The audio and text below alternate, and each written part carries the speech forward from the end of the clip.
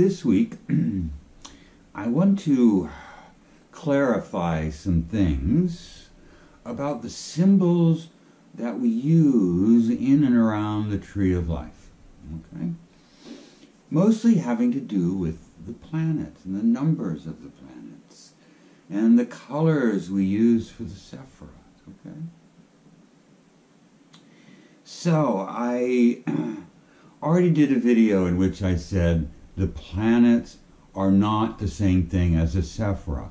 The Sephiroth are the vertical paths on the tree of life diagram, the seven vertical paths. But it brought up questions about, well, what about the numbers of the planets? They match with the Sephiroth.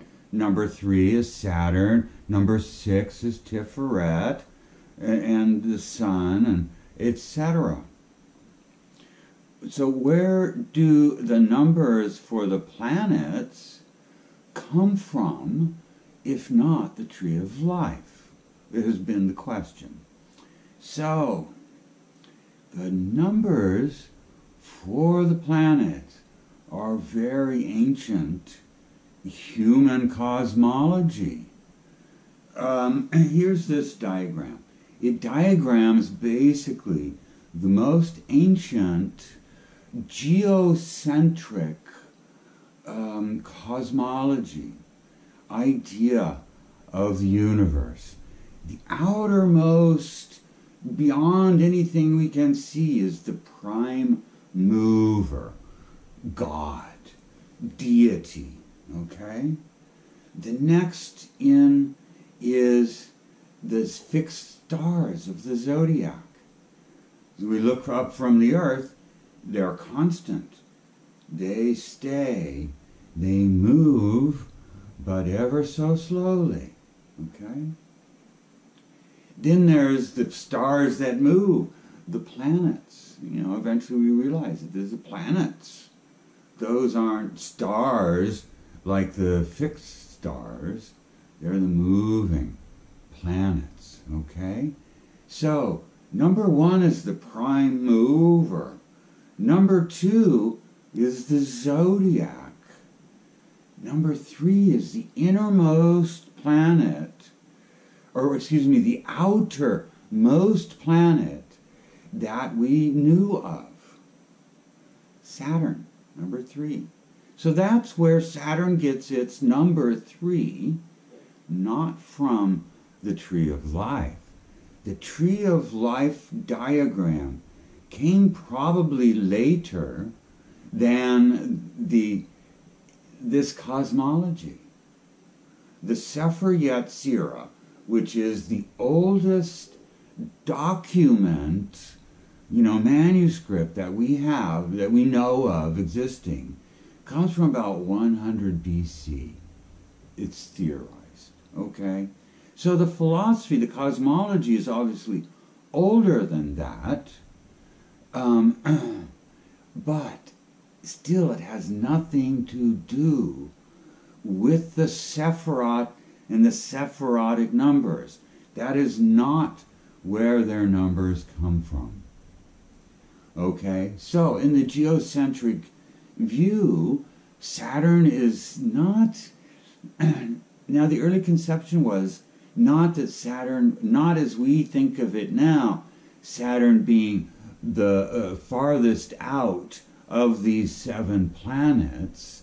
We now know that there are more planets, but that was not a part of human awareness at the time these symbols evolved, okay? So the outermost planet for us was actually the slowest planet for the ancients. It moved around those fixed stars much more slowly, about 30 years it took to get around, all the way around the fixed stars, the zodiac. Okay? So, number three, Saturn, the slowest. Number four, Jupiter. It's a little faster. Well, actually, quite a bit faster. Okay? And then we have Mars. Mars was even faster than Jupiter. Okay? That's number five. Number six is the sun. Okay? Remember, this is geocentric. Earth is at the center of this cosmos because we are the ones looking out there trying to decide what it all means. So, sun is number six, and it moves around once, a, you know, once a year. One full cycle of the seasons. It moves all the way around. Then comes Venus, which moves around just that ever so much, little bit faster than than uh, the sun. Okay, just a little bit faster. Then there's Mercury, who moves around quite a bit faster than the sun. And then there's our planet, the moon. You know, the moon, whoa, it whips around that zodiac once a month. That's number nine. Mercury is eight, and Venus is seven. You know? In order of their speed. And then we have number 10, the Earth. Okay. So that is where the numbers of the planets come from. It is not where the numbers of the Sephiroth come from. Okay?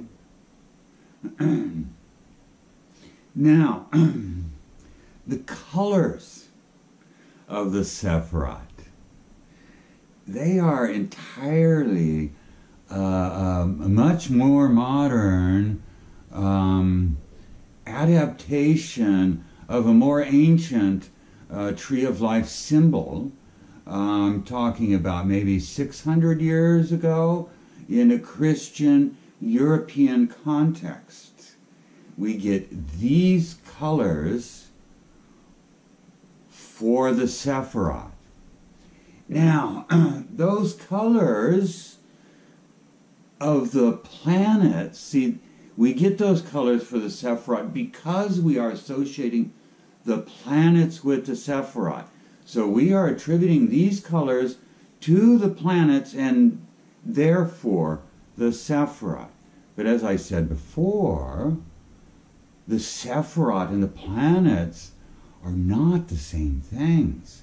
The planets are paths, the vertical paths on the tree of life. That's all the planets are. The Sephiroth are something entirely different. They emanate the planetary paths, but they are more than their planets, okay? But the colors we use come from the planets. Now, how does that come about?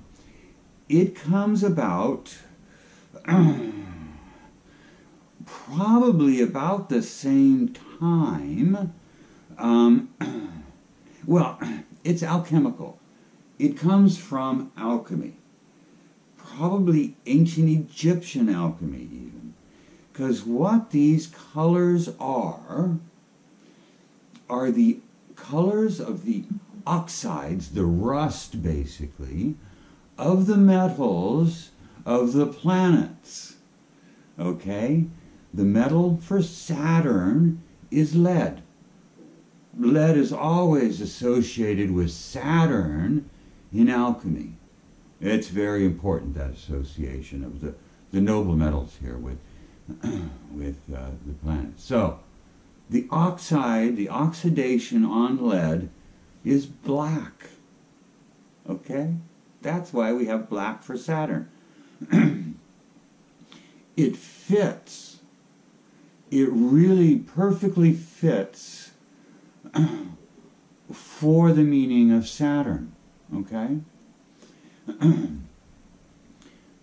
for Jupiter, it's the metal tin. The oxide, the rust on tin, is bluish. Mars, it's iron. And as we all know, the rust on iron is reddish. Okay? Now, the sun is gold, but gold never oxidizes. So the color of the sun is gold or yellow. Either does. Venus the is Venus is copper, the metal copper. The oxide of copper, verdigris, is green. Okay? And Mercury is the metal mercury, and its oxide is cinnabar, an orange, sort of a reddish orange. And for the moon, we have silver. That is the metal associated with the moon throughout alchemy. And the oxide of silver is a violet purple. Okay? That is where the colors come from for the planets, which are then associated with the numbers here in this whole little mix we have going of the tree. Okay, that's so the Sephiroth, by virtue of the planets, the, the incorrect association of the planets with the Sephiroth, have gotten their colors. They're the colors that I use as well. And I, well, except for, of course, Kether and Binah. I mean, Kether and. But these are following that ancient cosmology. The whole tree follows that ancient cosmology. The order of the planets on the trees, the vertical paths, follows that ancient cosmology. And in effect, the tree does as well, because at ancient cosmology was talking in spheres, number one, but it's really talking about different dimensions of existence, okay? And so is the tree of life. And it, they both deal with 10 dimensions. That's a common theme throughout much of the ancient cosmology. And as it happens, modern uh, um, quantum mechanics all deal with these 10 dimensions. So, by virtue of all of these confused attributions that don't apply, basically, or that are being applied to each other, uh, sort of irrationally, um, the colors actually work. Uh, gray and white, gray for the zodiac fixed stars, Chokmah, which sort of fits, and uh, Kether, brilliant white for uh, the prime mover. so it all fits that ancient cosmology, and it just so happens that the colors actually work. They work.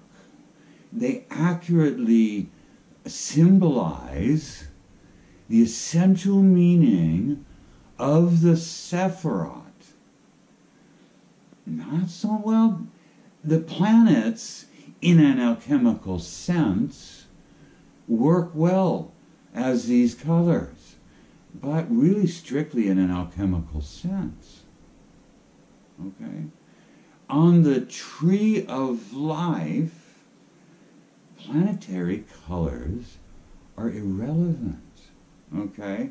That is not why the Sephiroth have these colors when I presented. My presentation of the Gra tree and the Hebrew tree have nothing to do with the planetary colors. I use these colors in the tree because they accurately represent the essential meaning of the Sephiroth. For me, more than they do the planets although it's impossible for me to divorce them in my mind because I grew up. You know, I grew up with the trees that everybody else grew up with. Um, but it's vitally important to truly understanding this symbol um, that, you know, can reveal so much if you work with it. Vitally important to really understanding it if you understand how all of this came together and got mushed into one thing in your mind. Try to divide, separate out these different symbol sets because we're dealing with uh, at least three different symbol sets, perhaps four, that don't really belong together not the way they've been put together at any rate. They belong together if you understand the errors in attributions. If you remove the planets from the Sephirot, it all begins to make sense. That likewise means that you remove the planetary numbers from the Sephirot. So it changes everything if you let go of everything you learned about the Sephirotic numbers from the Hebrew tree and the Western Hermetic Golden Dawn tree, whichever you you have grown up with. You know, you got to get rid of that association of Tiferet with the number six. Okay? That's really the biggest hurdle. It was the biggest hurdle for me in understanding the tree of life, the Gra tree especially.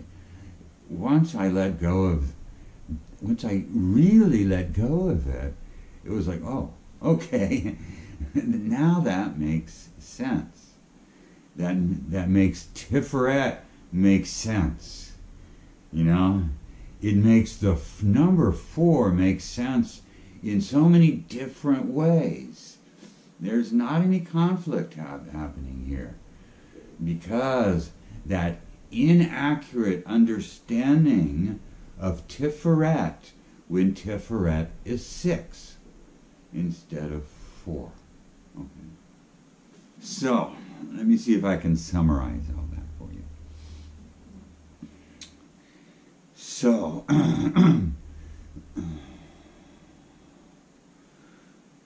the numbers of the Sephirot in the Gra tree and in the Hebrew tree do not come from the planets. the numbers of the planets come from the ancient cosmology. That uh, Archimedes was like 500 BC, something like that. Um, the colors of the planets come from the alchemical colors. Those are the alchemical colors by virtue of each planetary metal's oxidation or rust. That is where the colors of the planets come from. And the colors of the tree of life, the Sephirot, have most of them all come from the same oxides of the metals in alchemy. That is the color of the Sephirot because the planets have been associated with the Sephirot ever since the uh, Christian, Western European Christian world has known about the tree of life and assigned planets to the Sephirot and colors to the Sephirot. There are no colors in Hebrew Kabbalah, okay, for the Sephirot or for the lettered paths, okay? That just doesn't exist in Hebrew Kabbalah. That is entirely a modern adaptation, modern being within the past 600 years, say, adaptation of the Hebrew tree of life. Okay? It's important to know that. It's important to be able to know where the symbols you are using come from. You know, it really is important. Okay? And in the Hebrew Kabbalah, the planets are not associated with the Sephiroth. So that means the colors we use in the tree of life have nothing to do with the ancient Hebrew Kabbalah. They're a modern invention. They're our addition to this symbol. So we need to use them carefully. We need to know the way in which we are using them inappropriately, really. But nonetheless, the colors themselves all work, so it doesn't matter. But you got to retrain your mind when you see these colors to not think instantly of planet. Okay? That's what it comes down to. Okay, that's the end of my rant. Hope that was entertaining for this week. Bye bye. Ah.